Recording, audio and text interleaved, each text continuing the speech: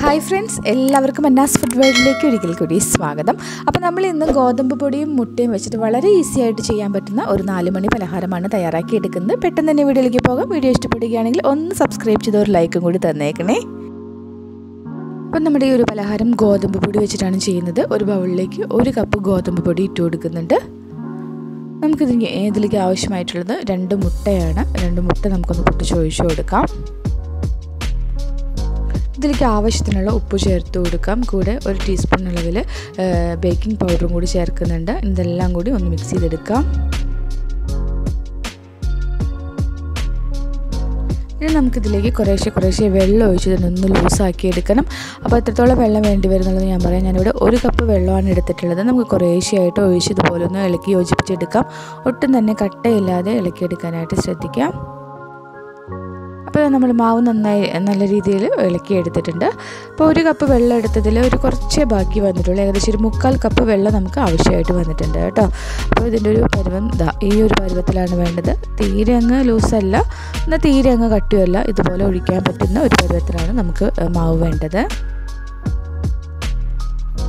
നമുക്കിത് റെസ്റ്റ് വെക്കേണ്ട ഒന്നും ആവശ്യമില്ല. ഉടനെ തന്നെ ഫ്രൈ ചെയ്തെടുക്കാം. അപ്പോൾ ഞാനിതിനായിട്ട് ഒരു പാനിൽ കുറച്ച് ഓയിൽ ചൂടാവാനായിട്ട് വെച്ചിരുന്നു. അതുപോലെ ഒരു തവിയും കൂടി ഇട്ടിട്ടാണ് ഒന്ന് ചൂടാക്കി എടുത്തിട്ടുള്ളത്. ഓയിൽ നന്നായിട്ട് ചൂടായിട്ട് വരുമ്പോൾ നമുക്കൊരു മീ ലോ ടു മീഡിയം ഫ്ലെയിമിലേക്ക് മാറ്റി കൊടുക്കുക ഇനി നമുക്ക് മാവ് ഇതുപോലെ തവിയിലോട്ട് കോരി ഒഴിച്ചു കൊടുക്കാം. ഏകദേശം ഒരു പകുതി അളവിൽ മാവ് ഒഴിച്ചാൽ മതി. പിന്നീട് ആ ഒരു ഓയിലേക്ക് ജസ്റ്റ് ഒന്ന് മുക്കി തവി നിറയെ എണ്ണ എടുക്കുക അപ്പോൾ അതങ്ങനെ വിട്ട് വിട്ട് വരും. ആദ്യത്തെ ഒന്ന് രണ്ട് പ്രാവശ്യം നമുക്ക് തവിയിൽ ഒട്ടി പിടിക്കുന്നത് പോലെ തോന്നും. ജസ്റ്റ് ഒരു സ്പൂൺ വെച്ചിട്ട് നിലക്കി കൊടുത്താൽ മതി. പിന്നീട് അങ്ങനെ ഒട്ടി പിടിക്കുകയൊന്നുമില്ല നന്നായിട്ടൊന്ന് മുരിഞ്ഞു തുടങ്ങുമ്പോൾ ആ തവിയിൽ നിന്ന് വിട്ട് വരുമ്പോൾ ഇതുപോലെ ഒന്ന് കമഴ്ത്തി ഇട്ട് കൊടുക്കുക. ഓരോ പ്രാവശ്യവും മാവ് ഒഴിക്കുമ്പം ആ തവിയുടെ ഒരു പകുതി അളവിൽ മാവ് ഒഴിച്ചാൽ മതി കേട്ടോ അതിങ്ങനെ വിട്ട് വരും. അപ്പോഴൊന്ന് കമഴ്ത്തിയിട്ടാൽ മതി. നമ്മൾ ഈ മാവ് അതിലേക്ക് ഒഴിക്കുമ്പം എണ്ണയെല്ലാം കളഞ്ഞിട്ട് വേണം ആ തവിയിലേക്ക് മാവ് ഒഴിക്കാനായിട്ട്. എണ്ണയുടെ ആവശ്യമില്ല. പിന്നീട് ഇതുപോലെ ഒന്ന് എണ്ണയിലൊന്ന് പതുക്കെ ഒന്ന് മുക്കി കൊടുക്കുമ്പം അതിലേക്ക് ഓയിലാവും പിന്നീട് ആ ഒരു ഓയിലിൽ നിന്ന് പതുക്കെ അത് ചൂടുകൊണ്ട് വിട്ട് വരും. അടിഭാഗം ഒന്ന് മൊരിഞ്ഞ് വിട്ട് വരും. ആ സമയത്ത് നമുക്ക് തിരിച്ചിടണം.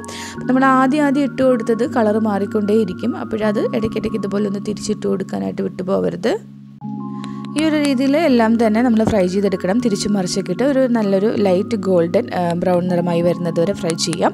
അപ്പോൾ ആദ്യം ആദ്യം നമ്മൾ ഇട്ട് കൊടുത്തത് ആദ്യം ആദ്യം അത് ഫ്രൈ ആയിട്ട് വരും. അതിന്റെ കളറൊക്കെ മാറി വരും. സമയം എടുത്തിട്ട് ചെയ്യണം. അതിന്റെ ഉള്ളൊക്കെ വേവാനുള്ള ഒരു സമയം കൊടുക്കണം. തീ കൂട്ടിയിടരുത്. ഒരു ലോ ടു മീഡിയം ഫ്ലെയിമിൽ ഇട്ട് കൊടുത്താൽ മതി. തീ തീ വല്ലാതെ കുറച്ചിടുകയും ചെയ്യരുത് കേട്ടോ. അപ്പോൾ നമ്മൾ ഓരോന്നായിട്ട് ഇങ്ങനെ കോരി മാറ്റുന്നുണ്ട്. അപ്പോൾ ഈ ഒരു രീതിയിൽ ബാക്കിയുള്ള സ്നാക്സ് എല്ലാം തന്നെ ഫ്രൈ ചെയ്തെടുക്കാം. ഇതിലൊരു കാര്യം ശ്രദ്ധിക്കേണ്ടത് നമ്മൾ മാവ് ഒഴിക്കുന്നതിന് മുൻപ് തവിയൊന്ന് എണ്ണയിലിട്ടൊന്ന് ചൂടാക്കി എടുക്കാനായിട്ട് ശ്രദ്ധിക്കുക. തവിയിലുള്ള എണ്ണ കളഞ്ഞ് മാറ്റിയ ശേഷം വേണം അതിലേക്ക് മാവ് ഒഴിച്ചിട്ട് ഫ്രൈ ചെയ്യാനായിട്ട് കേട്ടോ അപ്പോൾ ഇത്രയേ ഉള്ളൂ. വളരെ സിമ്പിളായിട്ടുള്ള ഈസി സ്നാക്കാണ് കുട്ടികളെല്ലാവരും തയ്യാറാക്കി നോക്കുക. വീഡിയോ ഇഷ്ടപ്പെട്ടിട്ടുണ്ടെങ്കിൽ പ്ലീസ് ഒന്ന് സബ്സ്ക്രൈബ് ചെയ്ത് ഒരു ലൈക്കും കൂടി നിങ്ങളുടെ അഭിപ്രായങ്ങൾ മറക്കാതെ കമന്റ് ബോക്സിലൂടെ അറിയിക്കണം കേട്ടോ. ഓക്കെ അടുത്ത ദിവസം വീണ്ടും നല്ലൊരു റെസിപ്പിയുമായിട്ട് നമുക്ക് വേഗം തന്നെ കാണാം. Thank you.